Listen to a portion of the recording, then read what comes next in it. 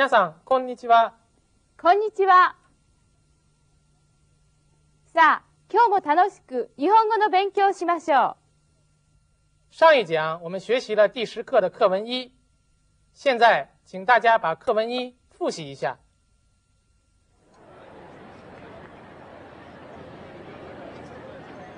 日本には東京の言葉を土台にした共通語があり、全国どこにでも通用する言葉として広く使われています。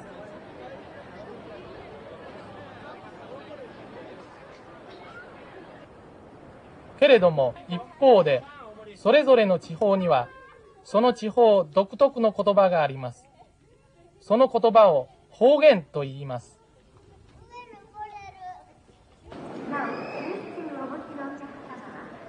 方言はその土地の風土や暮らしと深いつながりがあり、その土地その土地の味わいがあります。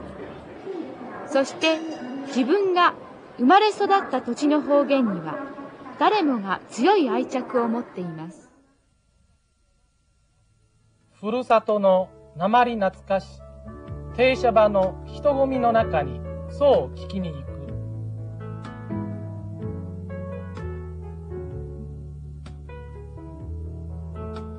これは石川啄木の短歌です。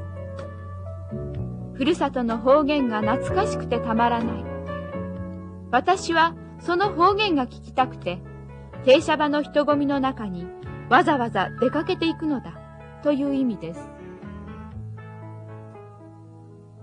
故郷の岩手県を離れ、東京で暮らしていた啄木は、ふるさとの言葉に特別の懐かしさを感じたのでしょう。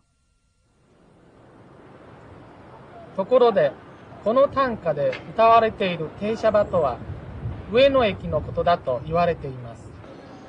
かつて、上野駅は東京の北の玄関と言われていました。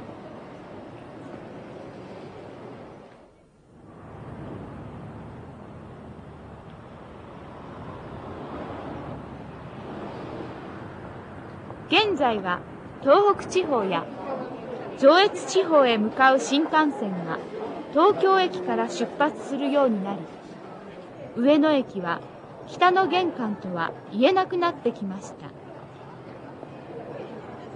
ふるさとの言葉で賑やかだった上野駅を懐かしむ人も多いのですが、今では方言を聞くことは稀にしかありません。啄木が今の上野駅を見たら、きっと別の駅だと思うでしょう。下面我们开始学习新课。では、まず本文2の VTR を見てください。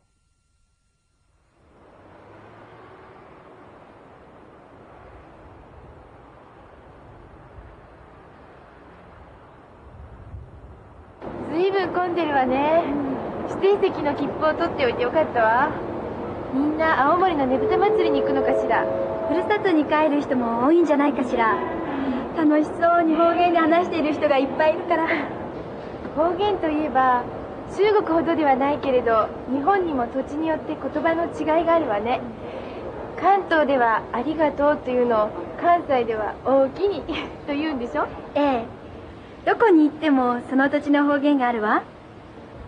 青森にも方言があるんでしょ？ええこんな会話があるそうよ。どさゆさねえわかる？この言葉の意味。どさゆさわからないわ。教えて。どさはどこへ行くの？っていう意味。ゆさはお湯へ行く。つまり、お風呂に入りに行くっていう意味だけれど青森は寒い地方だからあんまり外で長い話をしない。それで挨拶も短く縮めて言うらしいという人もいるけれど本当かしらね？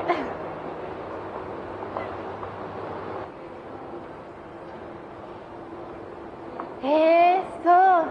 方言ってその土地の風土や暮らし方と関係が深いのかしら？ねえもうそろそろ行こっか。うん行こう。あれでね、うん、何を買う？おやつ持った？まだまだ持った？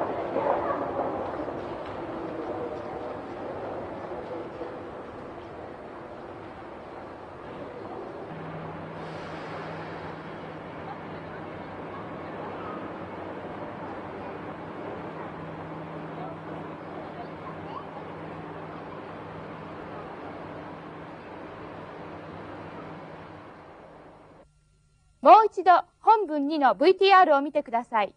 ずいぶん混んでるわね。指定席の切符を取っておいてよかったわ。指定席の切符を取っておいてよかったわ。切符を取る是一个习惯性的搭配形式。这里的取る有预定、订购的意思。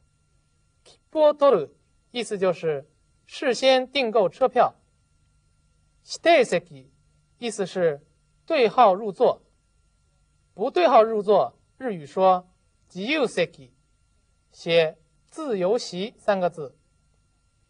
何々でよかった，相当于汉语的幸亏什么什么。指定席の切符を取っておいてよかったわ。幸亏我们事先买好了对号入座的车票。みんな青森のねぶた祭りに行くのかしら。 みんな、青森のねぶた祭りに行くのかしら。ねぶた祭り，宁武多节，这是日本的东北地区在旧历七夕前后举行的一种庆典活动。在活动期间，要点上许多以人物形象和动物形象为形状的大型彩灯。现在每年的八月一日到七日，主要在青森市 和弘前市举行。みんな青森のねぶた祭りに行くのかしら？是不是大家都是去参加青森的宁武多节呀？ふるさとに帰る人も多いんじゃないかしら。楽しそうに方言で話している人がいっぱいいるから。方言といえば、中国ほどではないけれど、日本にも土地によって言葉の違いがあるわね。方言といえば、中国ほどではないけれど、日本にも土地によって言葉の違いがあるわね。方言といえば的といえば，用以提及与前面话题中有关的事物，并转入一个新的话题，相当于汉语的说起什么什么，提到什么什么。中国ほどではないけれど的ほどではない，意思是不如什么什么那样怎样怎样？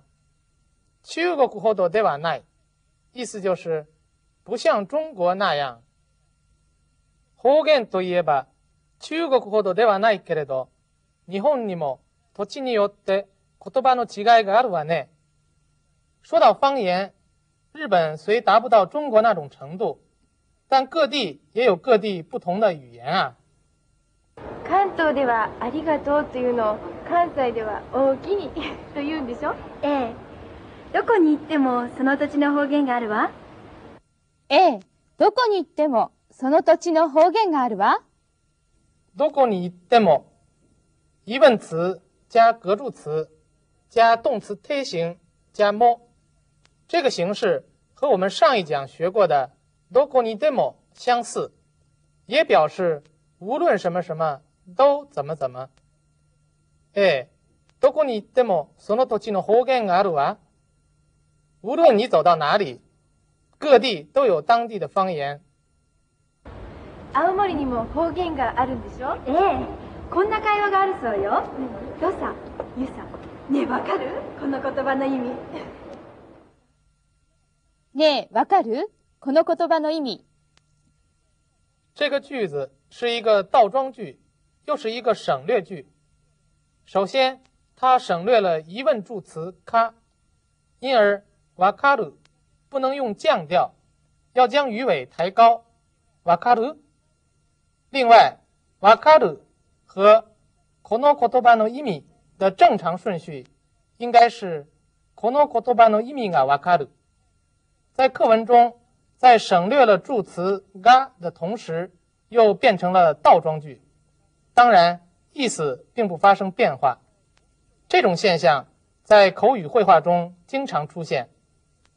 ねえ、わかる？この言葉の意味。怎么样，明白吗？这句话的意思。どさゆさわからないわ教えてどさはどこへ行くの？っていう意味ゆさはお湯へ行くつまりお風呂に入りに行くっていう意味だけれど青森は寒い地方だからあんまり外で長い話をしないそれで挨拶も短く縮めて言うらしいという人もいるけれど、本当かしらね？わからないわ。教えて。大家早在初级的第五课就已经学过动词推形加ください，表示请求或要求。在日常生活中，对关系密切的人说话时，往往可以省略ください。わからないわ。教えて。不明白，你给我讲一讲。ゆさは、お湯へ行く。つまり、お風呂に入りに行くっていう意味だけれど、青森は寒い地方だから、あまり外で長い話をしない。それで、挨拶も短く縮めて言うらしい。という人もいるけれど、本当かしらね？つまり、相当于汉语的，也就是说，という意味的という等于 to you，它比 to you 更加口语化。ゆさはお湯へ行く、つまりお風呂に入りに行くという意味だけれど、青森は寒い地方だから、あまり外で長い話をしない。それで挨拶も短く縮めて言うらしいという人もいるけれど、本当かしらね。ゆさ是お湯へ行く，也就是说お風呂に入りに行く。去洗澡的意思。有人说，青森是个寒冷的地方，所以人们很少在外面说长话，因而日常寒暄问候也就都变短了。这是真的吗？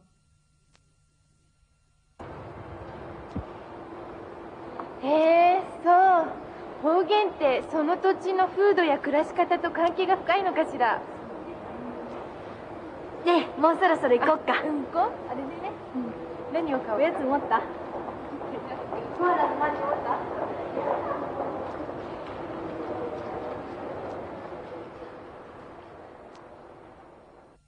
では、本文2をもう一度通してみてください。ずいぶん混んでるわね。指定席の切符を取っておいてよかったわ。みんな青森のねぶた祭りに行くのかしら。ふるさとに帰る人も多いんじゃないかしら。楽しそうに方言で話している人がいっぱいいるから方言といえば中国ほどではないけれど日本にも土地によって言葉の違いがあるわね関東では「ありがとう」というのを関西では「大きに」と言うんでしょ？ええ。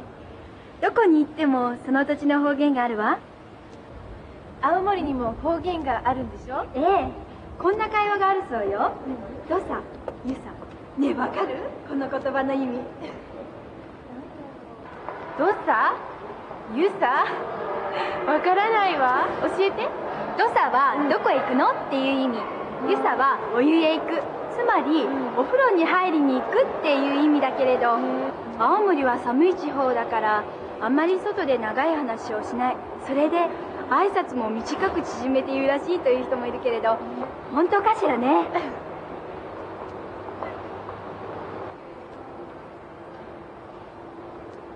へえそう。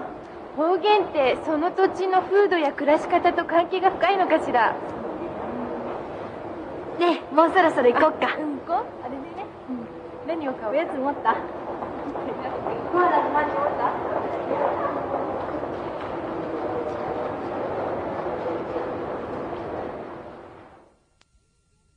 次は寸劇を見てみましょう。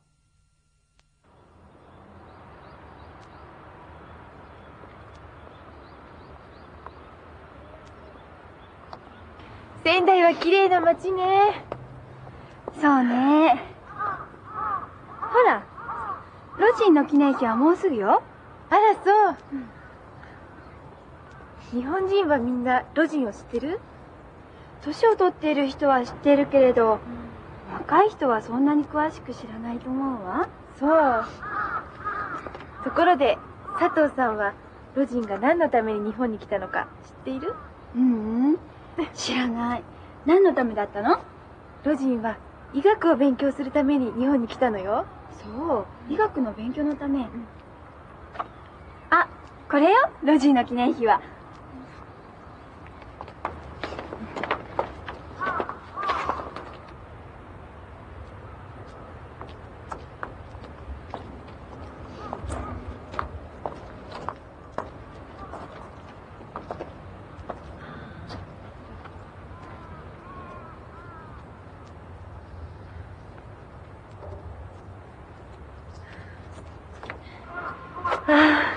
静かなところね。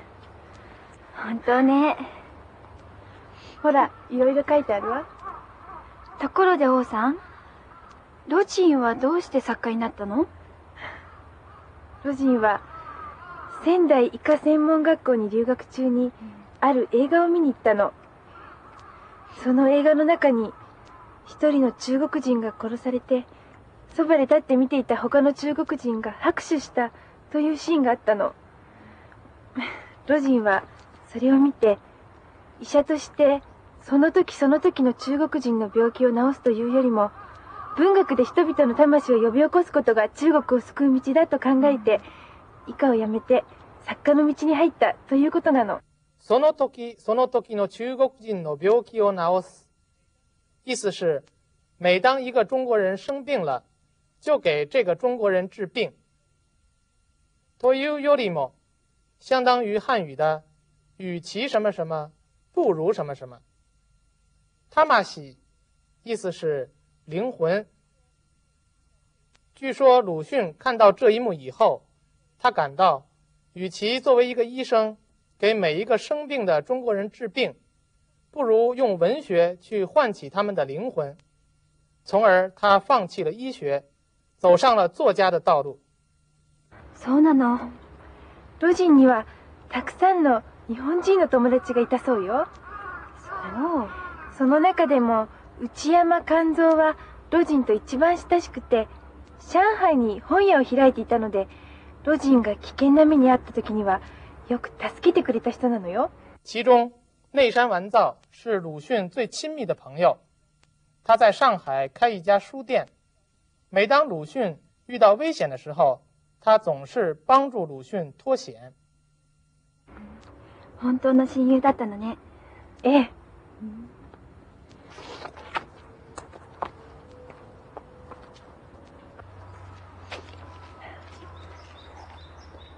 王さん、ルジンの作品はたくさん読んだ？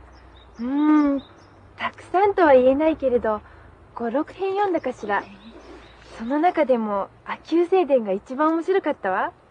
秋急聖伝といえば、日本では高校の歴史や文学史の授業で勉強するわ。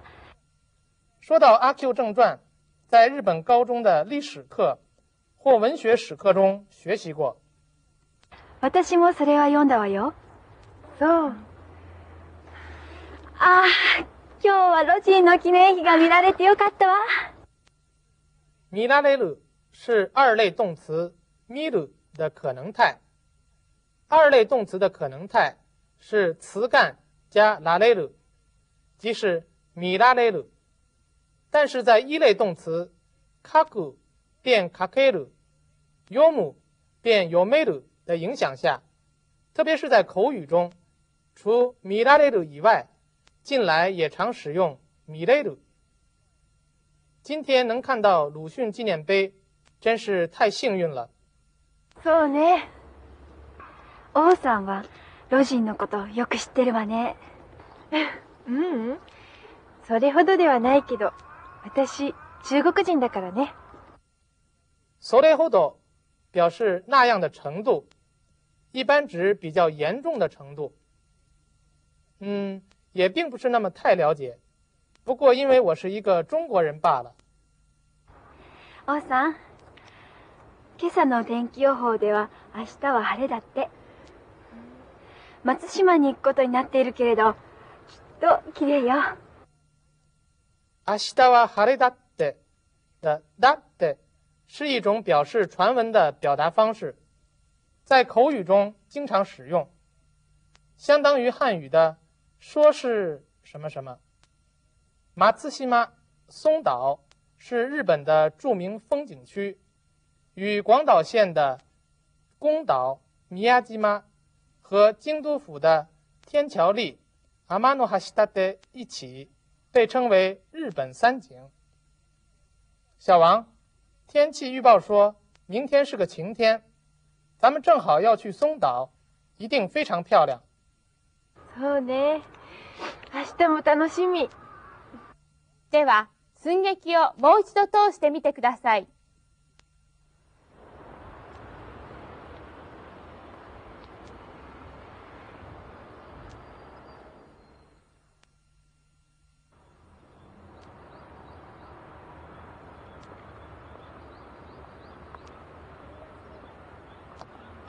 仙台は綺麗な街ね。そうね。ほら、ロジンの記念碑はもうすぐよ。あら、そう。日本人はみんなロジンを知ってる？年を取っている人は知ってるけれど、若い人はそんなに詳しく知らないと思うわ。そう。ところで、佐藤さんはロジンが何のために日本に来たのか知っている？ううん、知らない。何のためだったの？ロジンは医学を勉強するために日本に来たのよ。そう、医学の勉強のため。あ、これよ、ロジンの記念碑は。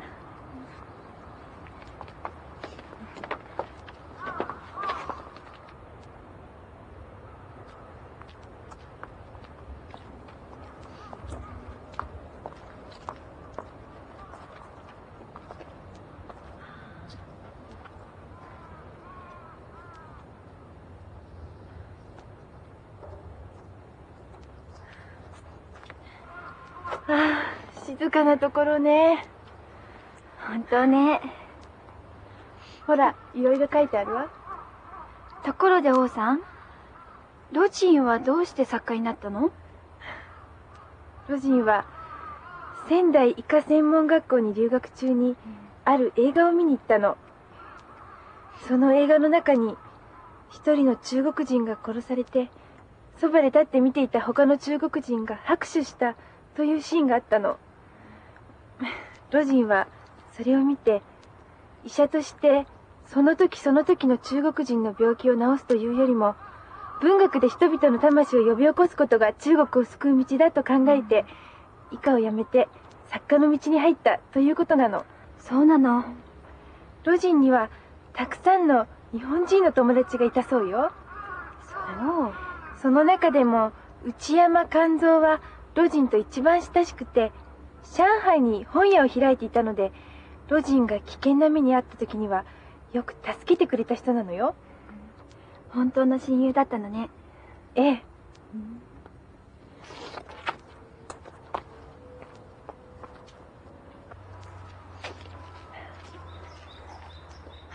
王さん、ロジンの作品はたくさん読んだ？うーん、たくさんとは言えないけれど、5、6編読んだかしら。その中でも、亜急聖伝が一番面白かったわ。亜急聖伝といえば、日本では高校の歴史や文学史の授業で勉強するわ。私もそれは読んだわよ。そう。ああ、今日はロジンの記念碑が見られてよかったわ。そうね。王さんはロジンのことよく知ってるわね。ううん？それほどではないけど、私、中国人だからね。王さん、今朝の天気予報では明日は晴れだって。松島に行くことになっているけれど、きっと綺麗よ。そうね。明日も楽しみ。ここで少し練習をしましょう。テキストの166ページを開いてください。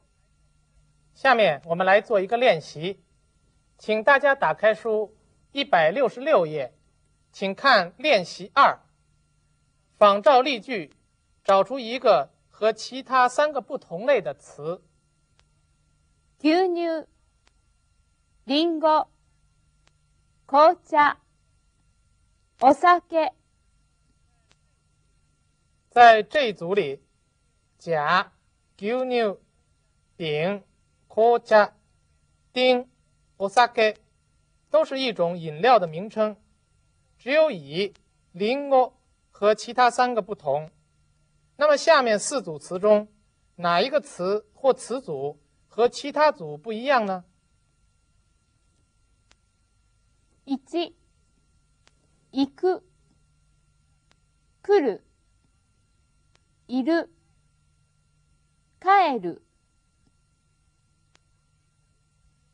第一组，甲、行く、乙、来る、丁、帰る，都是表示移动动作的动词，只有丙、いる不是。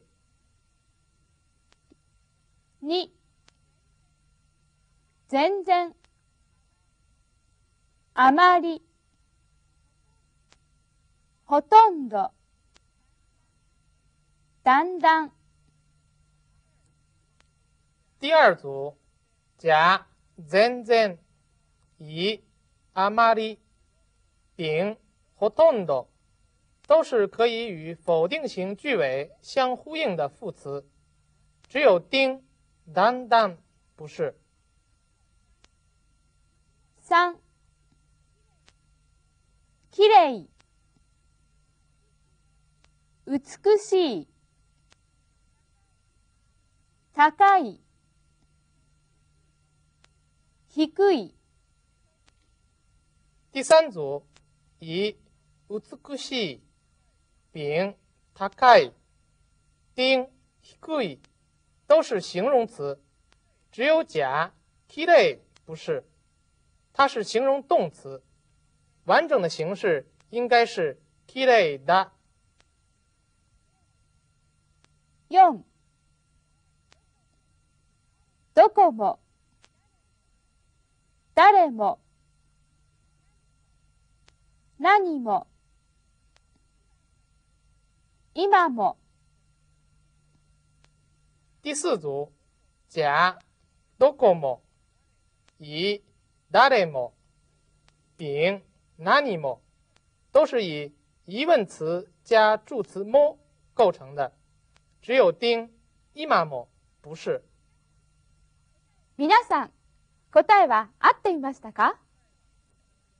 在第十课当中，我们学习了“何々とは何々のことだ”しかありません。でよかった。何々といえば疑问词加格助词加动词推形加も，动词推形表示请求等重点语法句型。希望大家在课下做好复习。ところで、ジョ先生、はいこの間友達と話をしていて、中国の方言には発音や言葉遣いが違うだけでなく、文法まで違うものがあると聞いたんですが、本当かしら？本当ですよ。それだけ中国の方言は複雑で難しいんですよ。我跟斋藤老师的这段对话，大家听明白了吗？では、今日の勉強はこれで終わります。皆さん、さようなら。さようなら。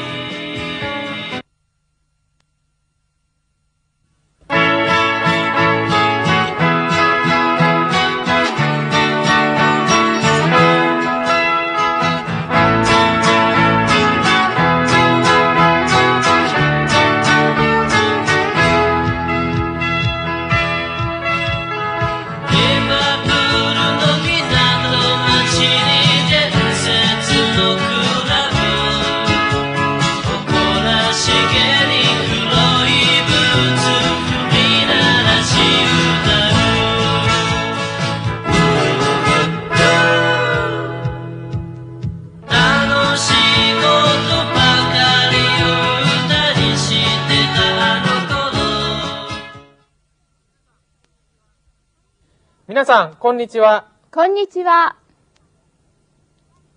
前回までで第10課までの勉強をしました。皆さんの日本語も少しずつ上達していると思います。到上一讲为止，我们学习到了第十课，大家的日语想必又有一些进步。今日は引き続き第11課の勉強をしましょう。今天我们接着学习第十一课，旅と交通，旅行和交通。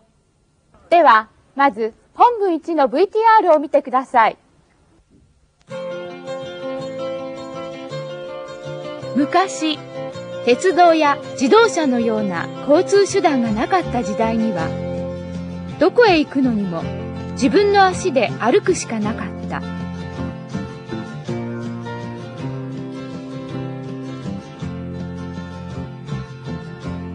旅をするのにも昔の人は何日も歩き続けるしかなかった。江戸時代1603年から1867年になって江戸現在の東京と日本の各地を結ぶ街道が整備され多くの人が街道を歩いて旅をするようになった江戸と京現在の京都を結ぶ東海道は特に交通量が多く街道沿いの町は大変にぎわった。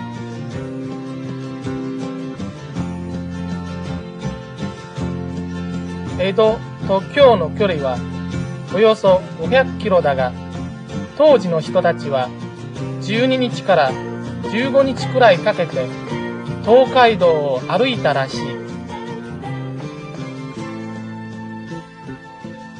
人間が1日に歩ける距離は大人の男性で40キロぐらい。だから、毎日歩き続けたとしても、そのぐらいの日数はどうしても必要だっただろ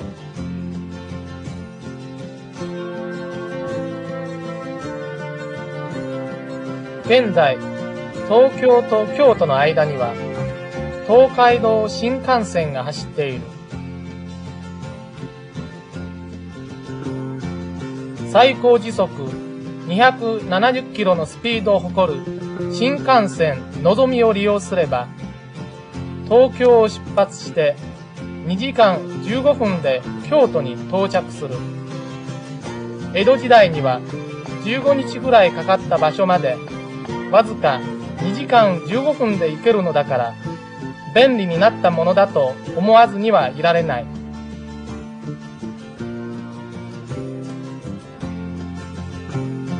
現代では仕事のために新幹線を使って東京から京都や大阪へ日帰りで出張することなど日常茶飯事になっている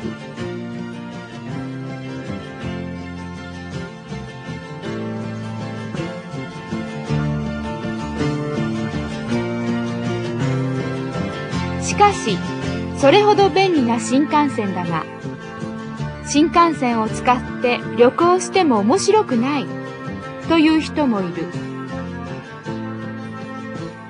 あまり早すぎて旅の情緒が味わえないというのだ。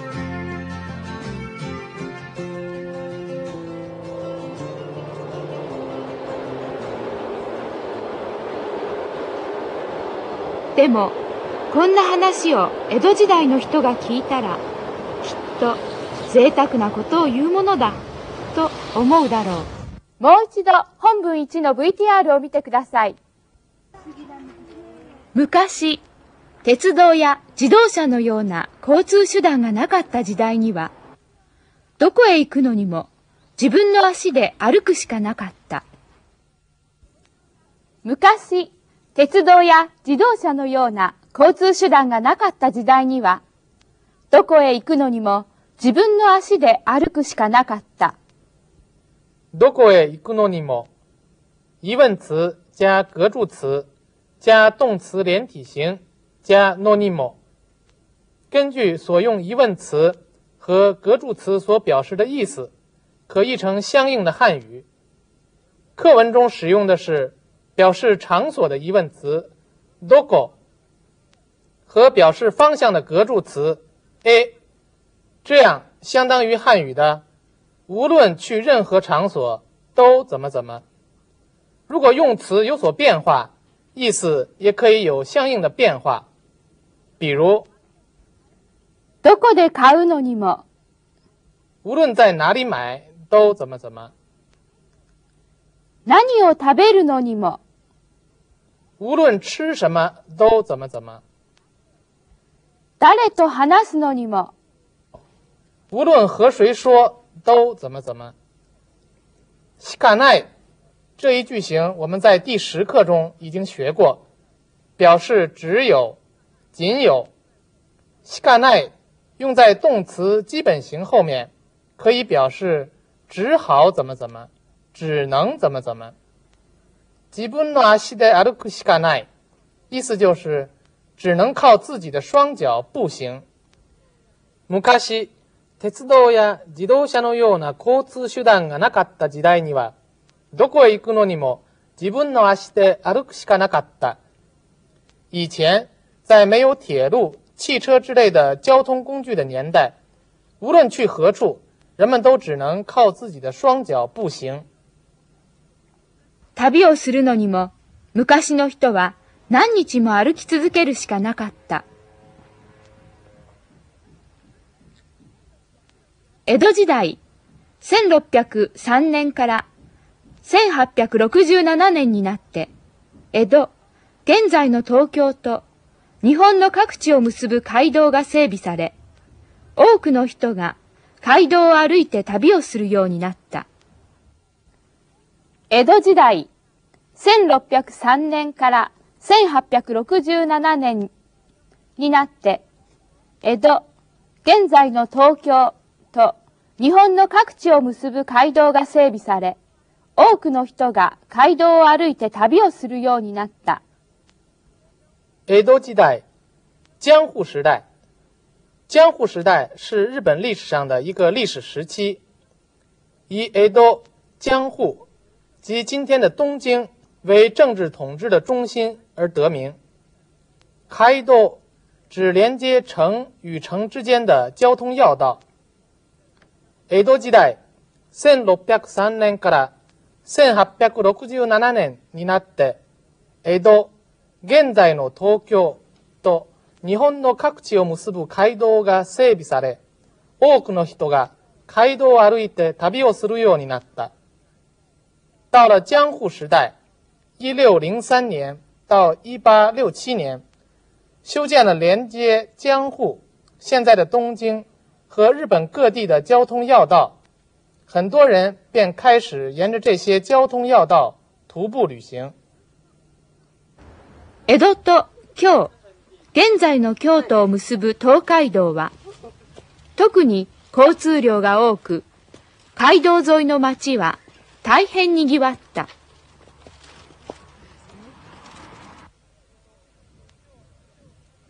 江戸と京の距離はおよそ500キロだが、当時の人たちは12日から15日くらいかけて東海道を歩いたらしい。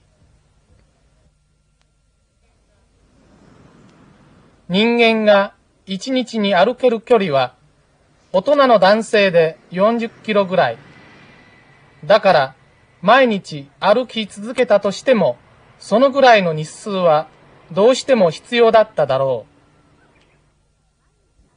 だから、毎日歩き続けたとしても、そのくらいの日数はどうしても必要だっただろう。動詞他形接としても、意思相当于汉语的、即使什么什么、也什么什么。毎日歩き続けたとしても、意思就是、即使每天不停的走、也怎么怎么。だから、毎日歩き続けたとしても、そのくらいの日数はどうしても必要だっただろう。所以，即使每天不停的走，也无论如何得需要这么多天吧。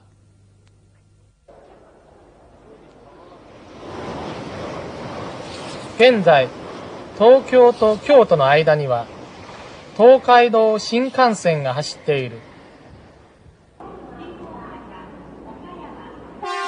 最高時速270キロのスピードを誇る新幹線のぞみを利用すれば、東京を出発して2時間15分で京都に到着する。江戸時代には15日ぐらいかかった場所までわずか2時間15分で行けるのだから便利になったものだと思わずにはいられない。最高時速270キロのスピードを誇る新幹線のぞみを利用すれば、東京を出発して2時間15分で京都に到着する。新幹線のぞみ、新干线希望号，这是日本电气火车的最新型号，最高时速可达到二百七十公里。最高時速270キロのスピードを誇る新幹線のぞみを利用すれば、東京を出発して2時間15分で京都に到着する。如果利用以最高时速为二百七十公里而自豪的新干线希望号，从东京出发，只用两小时十五分钟就可以到达京都。江戸時代に15日くらいかかった場所まで、わずか2時間15分で行けるのだから、便利になったものだと思わずにはいられない。便利になったものだ的ものだ，接在用言连接名词的形式下，表示一种感叹的语气。便利になったものだ，意思就是的确方便多了啊。思わずにはいられない中的兹是表示否定的形式，相当于大家已经学过的ない。接续形式也和ない一样，接在动词ない形后，将ない变成兹即可。只是三类动词的する要变成せず，比如泣く、泣かない、泣かず、見る、見ない、 見ず、来る、来ない、来ず、する、しない、せず。いられない，原意为待不住。兹にはいられない，整体表示不得不什么什么。不能不什么什么，禁不住怎么怎么 等意思。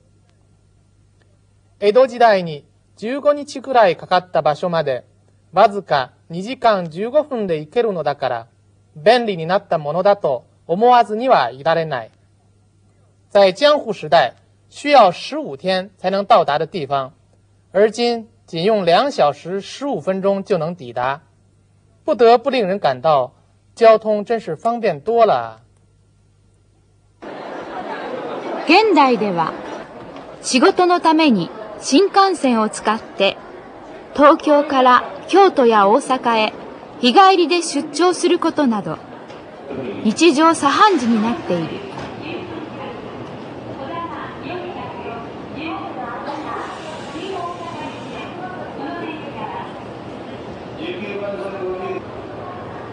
しかし、それほど便利な新幹線だが、新幹線を使って旅行しても面白くないという人もいる。あまり早すぎて旅の情緒が味わえないというのだ。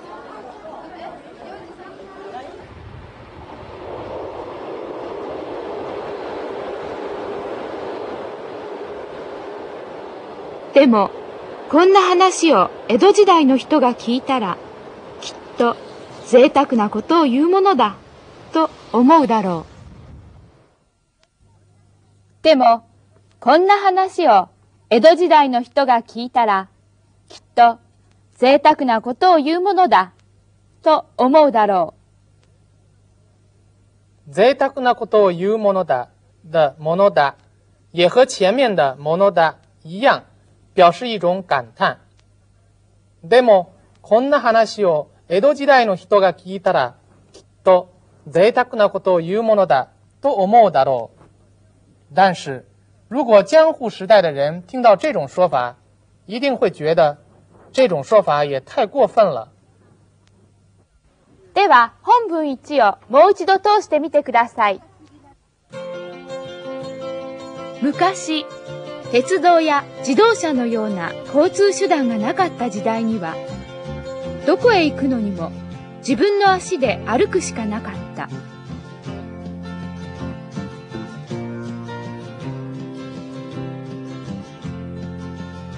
旅をするのにも昔の人は何日も歩き続けるしかなかった江戸時代1603年から1867年になって江戸現在の東京と日本の各地を結ぶ街道が整備され多くの人が街道を歩いて旅をするようになった。江戸と京現在の京都を結ぶ東海道は特に交通量が多く街道沿いの町は大変にぎわった。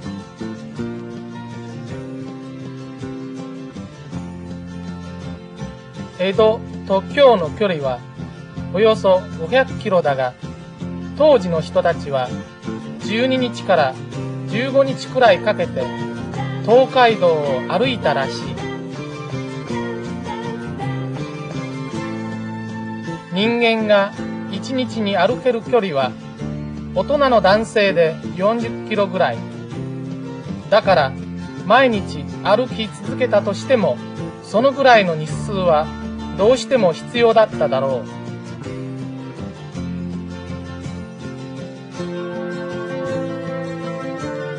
現在、東京と京都の間には、東海道新幹線が走っている。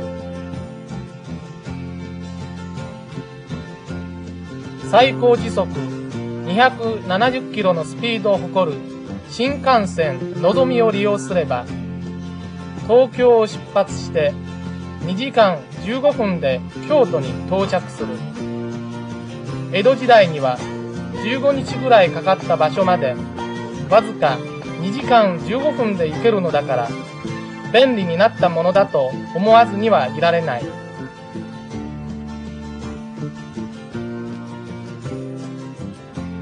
現代では仕事のために新幹線を使って東京から京都や大阪へ日帰りで出張することなど日常茶飯事になっている。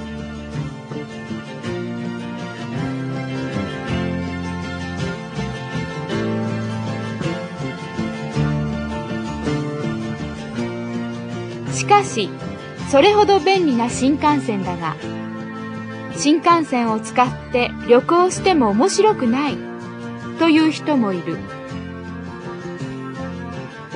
あまり早すぎて旅の情緒が味わえないというのだ。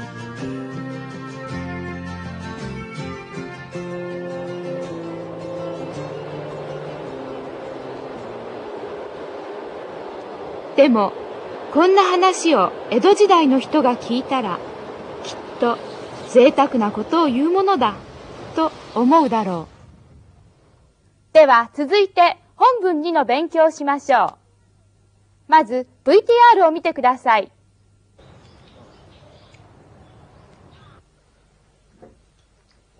あ、張さん、旅行の計画はできましたか？ええ、山田君と京都へ行くことにしました。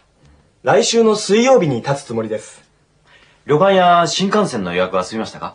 はい、旅館はもう予約しました。でも、新幹線の方は指定席ではなくて自由席で行くことにしたんです。乗車券と特急券だけ買っておきました。東京発10時の光に乗るつもりです。ちょっと、時刻表で確かめてみましょう。ああ、光221号ですね。京都に着くのは12時35分です。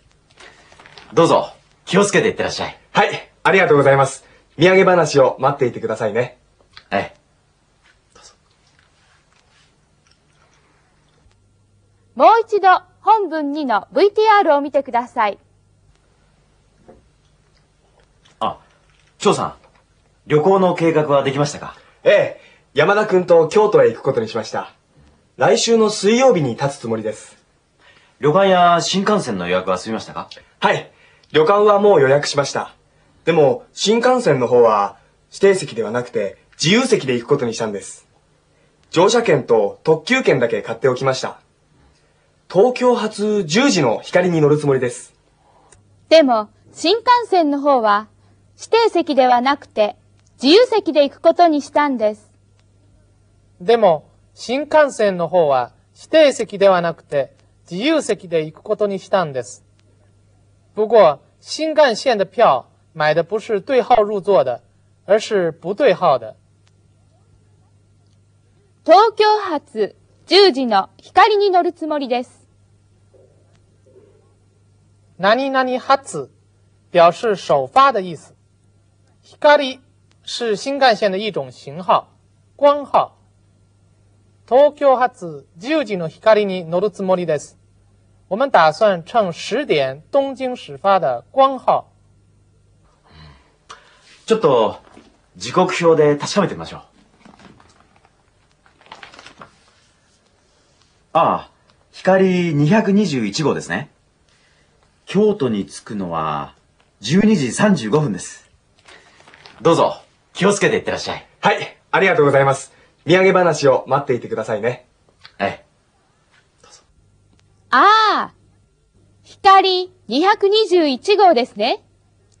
京都に着くのが12時35分です。どうぞ気をつけて。いってらっしゃい。日本的新干线除有 Nozomi 希望号、光、光号、こだま、回音号等名字外，还都编成顺序号，相当于我国的多少多少次。